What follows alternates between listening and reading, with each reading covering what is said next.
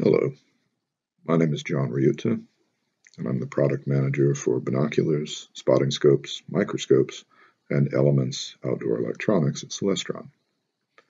Many people have written into Dear Celestron to ask, how does one become an astronomer? In my own case, it was when I joined Celestron. I'd actually been interested in space since I was a boy. I grew up on the mouth of the Columbia River uh, to a family that was involved in commercial fishing. And I would be out on the boat with my father uh, making night drifts. And between when we set the net out and between when we hauled the net back in, there was a great deal of time.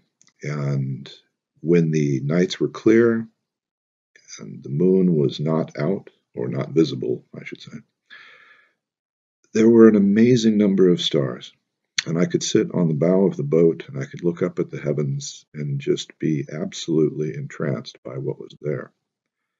Problem is, I didn't really know what it was. I later took up natural history, bird watching, geology, botany. And that became the focus of my activities for some decades. When I joined Celestron, in order to develop binoculars and spotting scopes, small optics, as it were. I felt it was my responsibility to also develop an understanding of astronomy.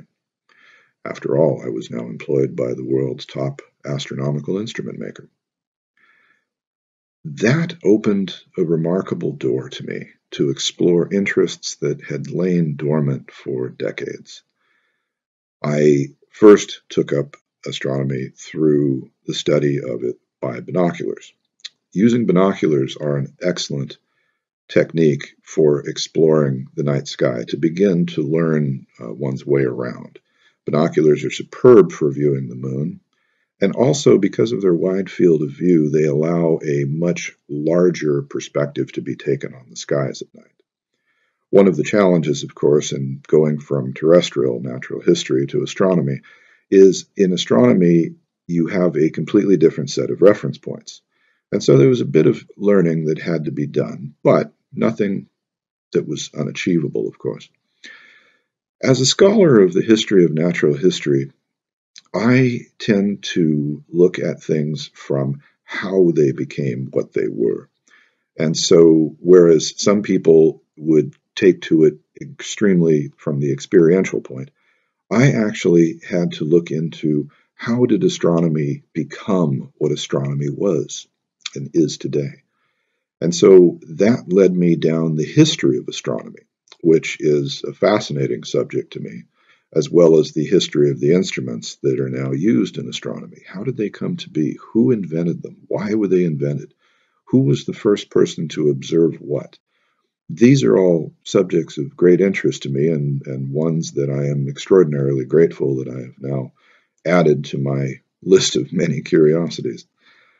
Um, but as far as the astronomy practice, I am still very involved in binocular astronomy, although I very much enjoy telescopic astronomy as well. Uh, the development of Celestron's StarSense Explorer line has added uh, to the speed with which I've been able to explore the heavens. Uh, before that, uh, using star charts and such, uh, it's it's a bit time consuming. But with the StarSense Explorer, I simply download the app and pop it into the phone mount on the telescope, and it leads me to whatever it is that I'm curious about seeing that evening. It's an excellent tool and one that all beginning astronomers should look at uh, immediately. As far as the rest of it, it's simply a matter of finding the door into the subject itself and then pursuing whichever corridor uh, leads you to your own interests. So, for some, such as myself, it might end up being the history of the practice itself. Uh, for others, it might be astrophotography. Um, for others, it might be, for instance, meteor watching is a popular uh, subject. Uh, the observation and monitoring of uh, man made satellites is another aspect of astronomy that some find interesting. I've actually been looking into that myself recently. Uh, I would also encourage people uh, who are interested in taking up the, the hobby to look at the resources that are available through the various organizations. Uh, for instance, uh, the Astronomical League has a number of observing programs that I've found very helpful. Uh, those in Canada should look to the Royal Astronomical Society of Canada. They also have an excellent observing program with graded levels of observation programs. Um, you get a nice pin badge for both of those. It's rather fun. You can show off your, your craft to your friends. But that's really about where I am right now. I, I always wait for the skies to clear, living in Northwest Oregon as I do. That's uh, somewhat limited. Uh, but when they do, I, I like to, to go outside and, and just simply gaze back up at the heavens again and try and recapture that wonder that I had when I was 11 years old sitting on the bow of my father's boat. I hope you find your way to astronomy if you haven't already, or bird watching, or whatever it is that you're interested in exploring.